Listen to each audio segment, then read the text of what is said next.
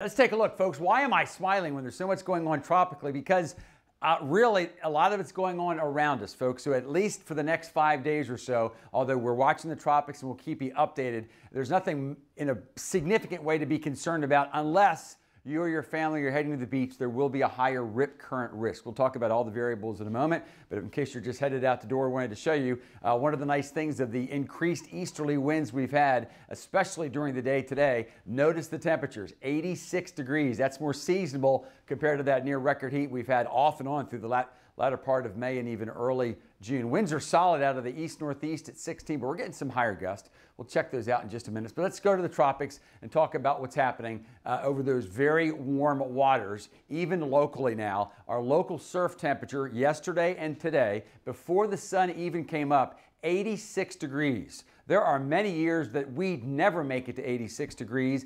If it does happen, typically it's in the latter part of August, not mid June. So that just means there's a lot of potential energy out there, and some of that is beginning to organize. Now, I want to show you the difference between the two systems. So, if we're going to call our system the one to the east, do you notice much symmetry there? No. That's good. Remember, even if you don't have all the numbers, uh, the more symmetrical a system is looking, the stronger it probably is and is going to be. In fact, if you look very closely, this is what we call the infrared shot. That's where the big thunderstorms are. This is where the circulation center is. See that little gray area? That's good. As long as those two uh, remain disconnected, we're not going to see rapid development there. On the other hand, look at what's happening out over the Gulf of Mexico. So the system we're watching is down here. That is the core.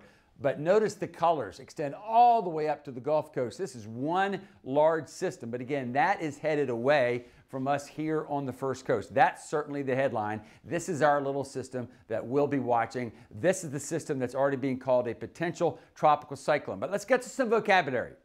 So this already has tropical storm force winds, winds of 40 miles per hour or more. So why aren't they calling it a tropical storm? Because the strongest winds are two to 300 miles away from the core.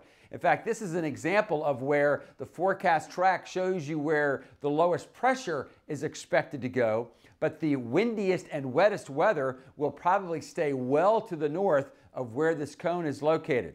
As long as it stays relatively unorganized, that is, the strongest winds are away from the lowest pressure, we're expecting that just to stay as a tropical storm. So I think the big concern for our friends in Texas will be maybe as much as 10 to 15 inches of rain on the Gulf Coast. There's our little system. We'll see what it means for us for tomorrow. Winds will continue to increase out of the east at 15 to 25. The main concern being a high rip current risk. That's going to be for tomorrow, Wednesday, and Thursday. Our windiest and wettest day here on the first coast, mainly just because of strong high pressure, will be Wednesday. Uh, winds not quite as strong on Thursday, decreasing on Friday and then winds and seas relax in a big way this weekend. We'll have